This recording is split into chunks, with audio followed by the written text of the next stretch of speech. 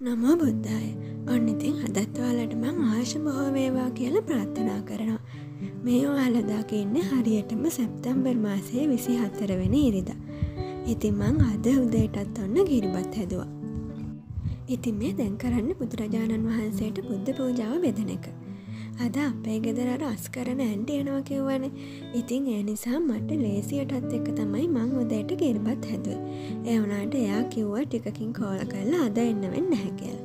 ඒ නිසා ඉතින් ආපහු දවල්ටත් උයන්න වෙනවා. මං ඉතින් ඔන්න බුදුරජාණන් වහන්සේට දැම් පළතුර පූජාවත් පූජ කරන්න තමයි මේ ලෑස්තිවෙන්නේ ගෙදර පේර වගේයක් ගෙනත් එබ්බා ඉතින් මං ඒ ටිකත් බුදුරජාණන් වහන්සේට පූජ කරා. ඔන්න ඊළඟටාව මල්ටික නෙලාගන්න කියලා. ඔන්න බලන්නකො මගේ දැන් කටරලු වැලේ ලස්සනට මල් පෙපිලා. තවත් කටරලු වැලක් තියනවා ඒකත් මං ආලට පෙන්නන්න.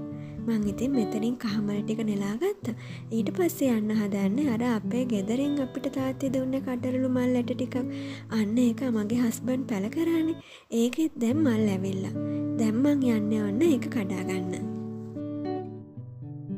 ඉතින්ම මල්ටිකන නෙලාගෙනාව මේ දැන් හදන්න ඒක ලස්සනට මල් වට්ටියෙන් හදන්න කියලා. ඉතින් ඊට පස්සේ මම මේ සේරම බුදුරජාණන් වහන්සේට පූජ කරනවා.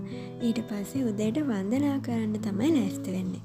දැන් ඉතින් ඔන්න මම බුදුරජාණන් වහන්සේගේ මල්ලාසනේ චුට්ටක් පිරිසිදු කරා. ඊට පස්සේ පානට තෙල් ටිකක් දාලා ඒ වගේම කිරිපිටු බුද්ධ පූජාව පළතුරු පූජාව සිසිල් පැන් සුවඳ මල් මේ දේවල් මගේ බුදුරජාණන් වහන්සේට පූජා කරනවා පූජාවේවා කියලා ගොඩක් ශ්‍රද්ධාවෙන් මම පූජ කරා.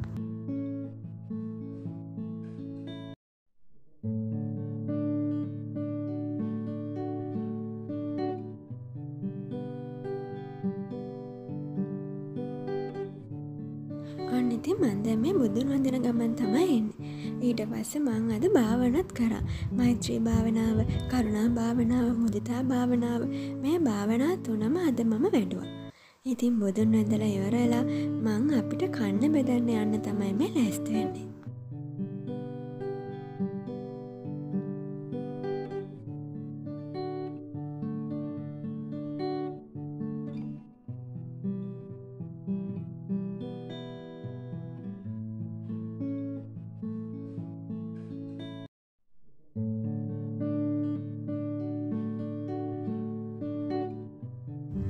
ඉතිම ඉස්සල්ලම මටයි හස්බන්ටයි කෑමටික බෙදාගත්තා. මේ වෙලා වෙනකොට මගේ චුටි බබා තාම නිදි. ඉතින් එයාට නැගිට්ටම කවනවයි කියලා හිතලා මමයි හස්බනයි දැන් කන්න තමයි යන්න ලෑස්තුවෙන් ඒ වුණට ඉතින් චොට්ටක් කකායෙන් දෙති චෝටි බබා ඇහැරුණා. ඒ නිසා අපි දෙන්නම ඉක්මනින්ම ගියා. ඉතින් අදමං කිරිබත් හැදුව බාස්මති හාල්වලින් හස්බන් ඔය කිව් බාස්මති හාල්වලින් හැදුවම කිරිබත් එක ගොඩක් රසයි කියලා. ඔන්න ඉතින් දැන් අපි චුටි බබා බලන්න තමයි ඔය යන්නේ.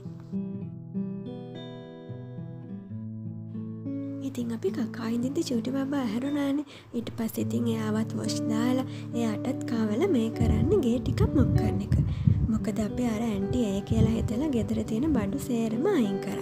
එතකොට යාට මොප් කරන්න ලේසින එවනට ඉතින් එයා එන්න කියපු නිසා මමයි හස්බුණුයි දෙන්නම මේ වැඩේ කරන්න පටන් ගත්තා ඉතින් එදා අපි දෙන්නම කරේ ගෙදර වැඩ කරන එක. හැබැයිති මහන්සියක් දැනොන්න අපි දෙන්නම වැඩ බෙදාගෙන කරා.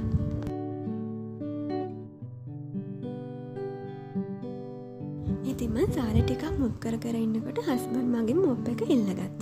එයා කිව්ව එයා මොක් කරන්න ඔයා පැත්තකට වෙලා ඉන්න කෙල් ඔන්න ඉතින් බානකො මගේ චුටි බවාර බොනියම්ග සින්දුවලට ලස්සන්ට ඩාස් කරනවා. කොහොමත් එයා එයාලගේ සින්දු බලන්න ගොඩක් ආසයි. ඉතිමං ඒ අතර දියාව දවල්ට උයන්නත් එක්ක. හැබැයි තාමනං උයන්න මේ කරන්න චෝට වැඩක්. අපි සෙනසුරාද පොලේ ගියාම මේ වගේ මැටි තාච්චයක් ගත්තා. ඉතින් ඒක ගොඩක් හොඳයින. ඒ නිසා තමයි ඒක ගත්තේ. ඔන්න මංකිවන් වන්දැන් පොඩි වැඩක් කන්නා කියලා. මගේ බ්ලෙන්ඩ් එකේ ඇතුළ හොඳටම ජරා වෙලා තිබ්බේ. ඒ කියන්න මේ එතන තියෙන්නේ කොල්ල කැඳ වැටිලා. මන්දැන් හදන්න එක පිරිසිදු කරගන්න. ඔන්න බලන්නකො. මං අද මේක අලට හොඳ ලස්සන්ට සුදුවටම පිරිසිදු කල්ල පෙන්න්නනවා මං ඒකට පාවිච්චි කරන්න මෙන්න මේ ටික. මං මේ කහපාට භාජනයට වතුර ටිකක් පුරාගෙනාව ඒකට මං බේකින් සෝඩ ටිකක් දාගන්නවා. ඊට ඊට පස්සේ විනාගිරි ටිකකුත් දාගන්නවා. සාමාන්‍යයෙන් විනාකිරි තේ හැඳි දෙකක් විතර දාගන්න පුළුවන්. මන්නක් විති මිම්මක් බැලුව නැහැ. මට හිතන ගාන දාගත්තා. බේකින් සෝඩත් එහෙමම තමයි. ඉතින් ඊට පස්සේ මේකට අපිට පරණ බුරුසුවක් ඕන වෙනවා.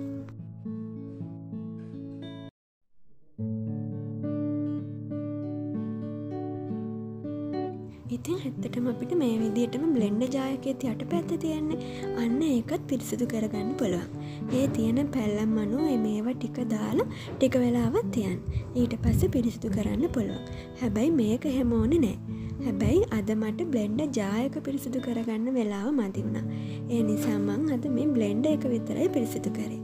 ඔන්න මන්දැම් පටන් ගන්න තමයි යන්න. චුට්ටක් ඉතින් මේ බොරුසුවෙන් ඒක කලවන් කරනවා.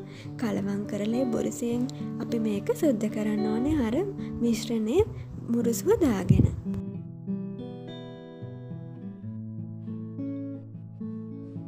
මංහිතන ආරට මං කිව්වදේ ගොඩක් පැහැදිලි වුණා කියලා. ඒක මං මේකෙත් පෙන්නල තියෙනවානේ. ඔන්න ඉතින් ඔයාලග බ්ලෙන්ඩ එකත් මේ වගේ වෙලා තියෙනවනම් මේ විදියට කරලා බලන්න. ඇත්තටම මේක සියයට සීයක් සාර්ථක ක්‍රමයක්. ඉතිං අපිට ඊට පස්සේ තව තද පැල්ලම් තියෙනනම් අපේ ගෙදර පාවිච්චි කරන අපේ ටූත් පෙස් චුට්ටකුත් දාලා අර විදිහට මර ද්‍රාවණය බුරුසු ඔබල මේකෙන් සුද්ද කරන්න. එතකොට ඒ තද පැල්ලන් ටිකක් යනවා. මන්දැන් ඒකත් ඔයාලට කරලා පෙන්න්නනවා අන්තිමට බලන්නක මේක අවුට්පුට් එක. ඇත්තටම හිතා ගන්නවත් බැරිවේ මාත් හිතුව නැහැ මේකින් මෙච්චර කුණියයි කියලා. ඒ වනාට මේකින් ඇත්තටම කුණියනවා.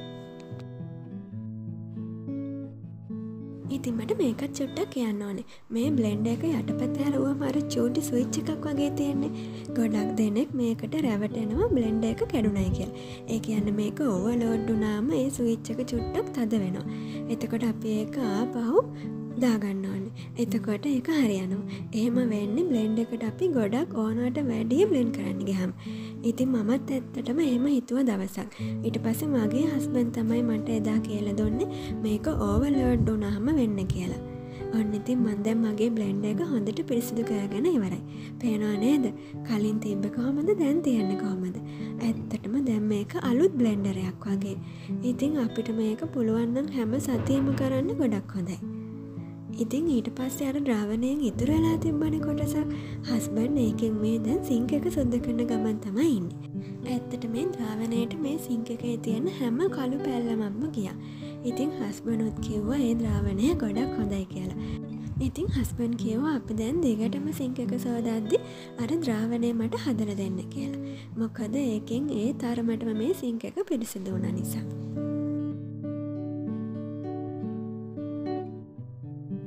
ඉතින් මන්දැන් ආව දවල්ට යන්න කියලා. ඉතින් ඊට කලින් මට හිතුන අපේ ගෙදර මද සැමන්ටිකක් හදාගත්තත් හොඳයි කියල. ඇත්තරම මට මේ අදහසාාව කොහෙද දන්නවාද? ඔයාලත් මේ නංගෙගේ වීඩියෝස් ගොඩක් ආදරයෙන් බලනව ඇති. ඒ තමයි සිම්පල් ලයිෆින් ශ්‍රී ලංකා නංගි. ඉතින් ඒ නංගේ දවසක් ගෙදර සැමන් හැදුවන රයිස්කොක එක.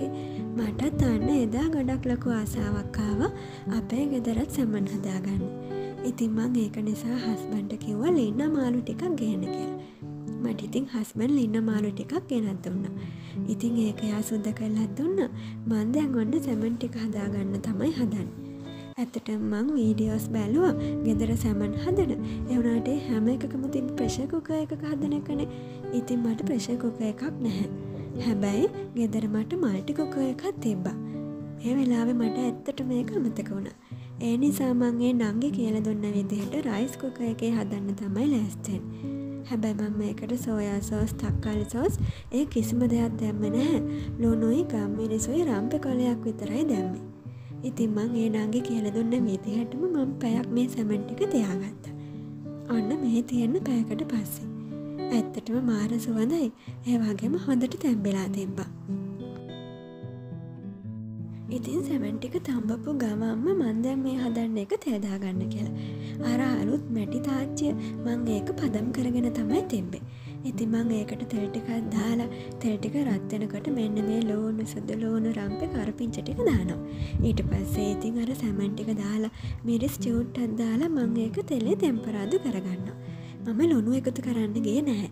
මොකද සැමන් එකේ ලොනු රස ටිකක් හොඳට තිබ්බා ඒ නිසා තමයි මම ලොනු එකතු කරන්නගේ නැත්තේ. ඉතින් ඒ නංගි කියපු විදිහට ප්‍රශකෝක එක වගේ නම් මේ සැමන් කට්ටු හොඳට පොඩි වෙලා තිබ්බ නැහැ. හැබැයි මට හිතනවා ප්‍රශකුක එකක හැදුවනම් මේ සැමන් කටුත් හොඳට පොඩිවෙන්න තිබ්බ. මං ඉතින් ඒ කටු ටික අයින් කරලා මේ සැමන් ටික විතරක් ගත්තා.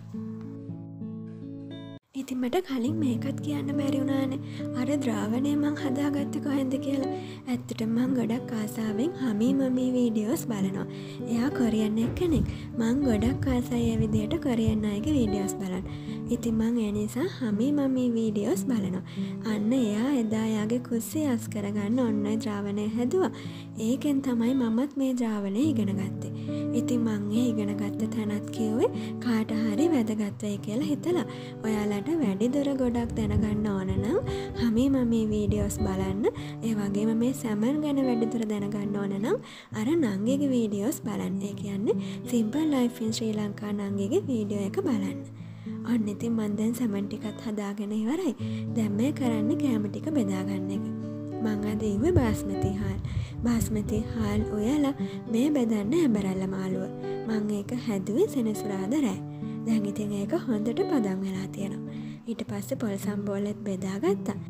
ඉතින් ඔන්න මේනම් බෙදන්න තුඹ කරවිල ටික මම සෙනසුරාද තුඹ කරවිල හදපුයකින් චුට්ටක් ඉතරුණා ඉති මං ඒකත් රත් කරලා අද කෑම පිගානට බෙදාගත්ත. ඊළඟට මං අද හදපු පරිප්ප හොද්දත් බෙදවා. ඔන්න ඊළඟට තමයි මම ගෙදරම හදාගත්තාර සැමන් ටික බෙදාගන්න. ඇත්තර මේ නංගි කිව්ව හරි මේ සැමන් එක ගොඩක් රසයි. ඉතින් මේ විදියට සැමන් ගෙදර හැදුවත් ආපහු අපි කඩෙන් සැමෙන් ගන්නෙම නෑ. ඒක ඇත්තම තමයි. ඔන්න විදියට තමයි ඉතින් එදා මගේ දවස ගත වනේ. ගොඩක් ආර්ථවත් විදියට ගත කර. මංහිතනා මේ වීඩියෝකොට වාලා කැමතිවෙයි කියලා. හැමෝටම ස්තුතියි. තෙරුවන් සරණයි.